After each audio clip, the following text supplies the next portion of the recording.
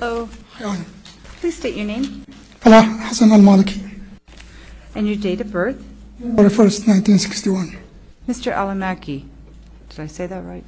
Alamaki? Yes, You have uh, a grand jury warrant.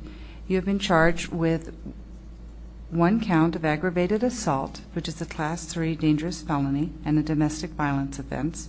You've also been charged with aggravated assault, which is also a Class 3 felony, and also leaving the scene of a serious injury accident, which is a Class 2 felony. Did the state want to be heard? Yes, Your Honor. Stephanie Lowe on behalf of the state. Your Honor, we're asking for no less than 5 million cash. We're asking for surrender of the defendant's passport.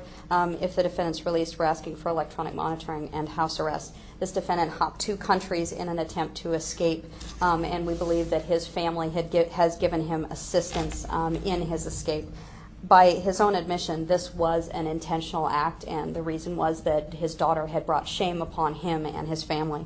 Um, and we can't be naive and ignore that there is a cultural aspect to this, um, and there may be people that would support him, um, including his family, but also others who share his beliefs. Um, this was an attempt at a killing.